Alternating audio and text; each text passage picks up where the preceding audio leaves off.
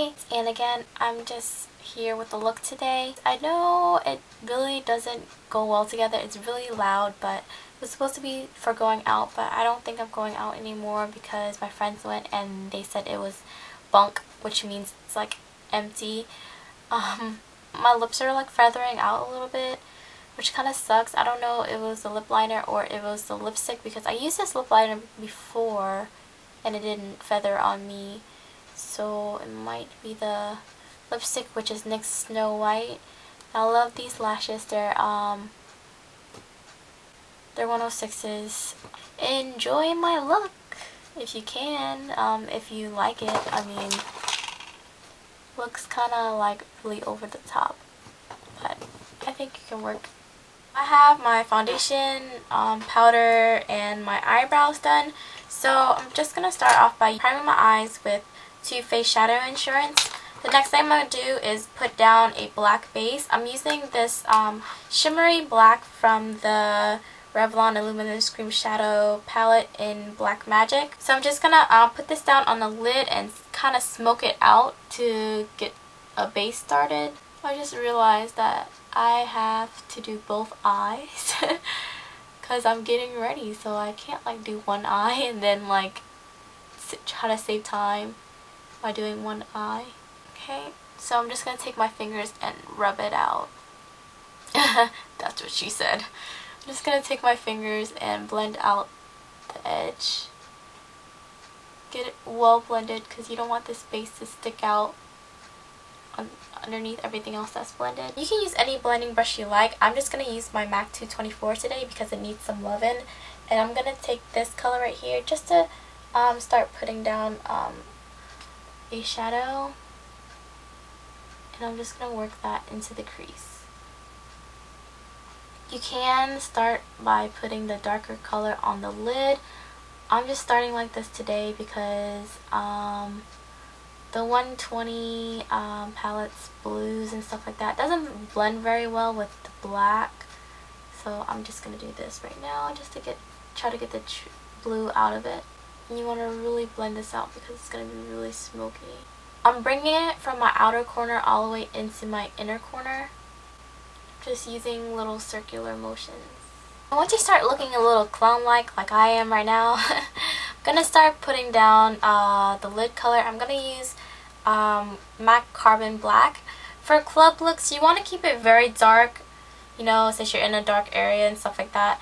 And, you know, you don't really want to put too much color on the lid. If I do have color, I like to put it into the crease or, you know, um, put it into the lower lash line. I'm just going to pat that on with an e.l.f. eyeshadow brush I think this look is going to be really crappy, but uh, we'll see how it all pulls together. I'm going to put that above my crease or crease, my Asian crease. So meaning this is not my real one, it's the one I'm trying to have. I'm just going to take a blending brush and I'm just going to blend these out. Sorry my brushes are dirty, it's like, you know, I just got out of exam week so um, hopefully you can forgive me because that is a very busy time in my life. Just gonna start blending those two together, or try to. This color, which I normally use to um, blend out colors when I'm doing smoky eye, it's a little um, dark charcoal color in the palette. So I'm just gonna pop that on.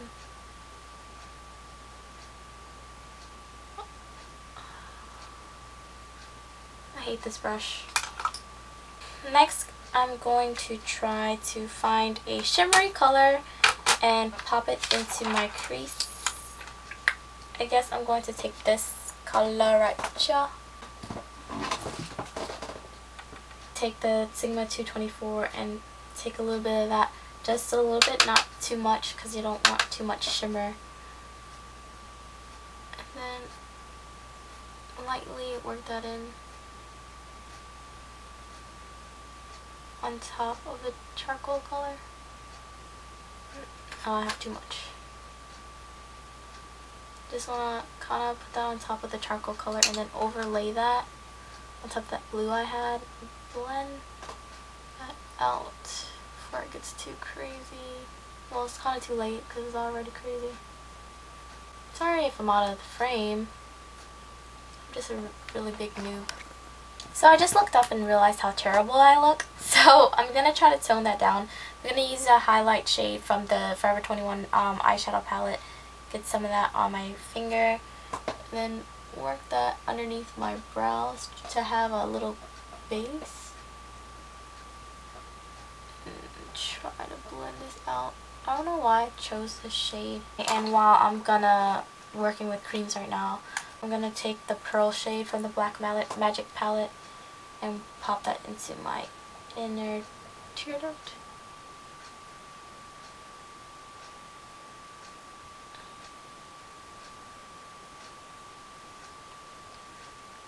Working a my lash line.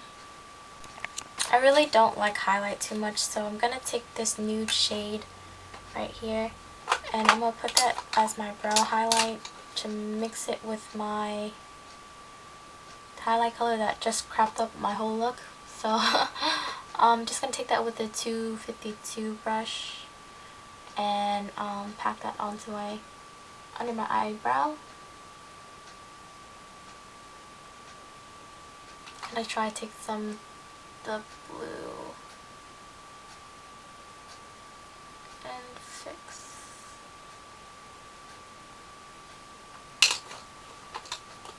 Wow, that's like the worst look I've ever done in my life. Such a failure. What kind of guru am I? The one time I did a similar look to this, um, I had a whole bunch of comments that I had too much makeup on. I'm probably gonna get the same comment again, but W-E. W-E. I'm gonna take a Sigma 219 brush and um, a shimmery white shade from Stila. Just gonna pop that on top of the white highlight that I put too much of on the side. Drag it into my lash line, my lower. I'm going to take my small Essence of Beauty brush like a crease brush and start working some colors into my lower lash line. Yes, I'm just going to use um, this blue up here. This shimmery blue.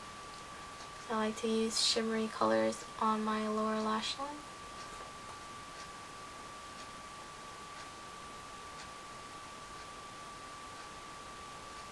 and blend that with the shimmery white, that blue from earlier, this one. And uh, work that towards my outer. I'm just going to take more carbon black and work that um, towards my, like, blended with the last color in my outer lash line. Just try to smoke it out more. Okay, I'm gonna put on some lashes and be right back. Oh, and um, this is my lash thing. So yeah. Just wanted to show you guys.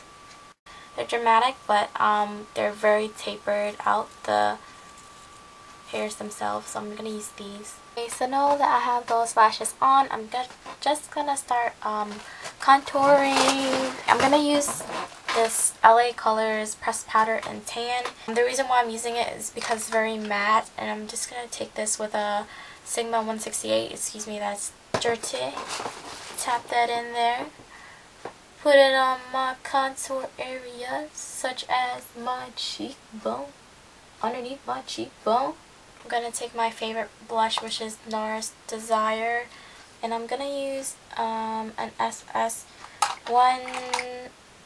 187 so I can get a like little bit of coverage of this because there's so much blue going on I don't want too much pink on my cheeks so I'm gonna lightly tap that on to apples on my cheeks working it back I'm just gonna use the e.l.f. complexion perfection to try to um, blend oh that's not the complexion perfection yeah, this one. Lightly dust that on top. And then just gonna highlight using my Forever 21 bronzer right here. And dust it with a powder brush. My temples work my way down on top of my cheekbone, forehead, a little down the nose.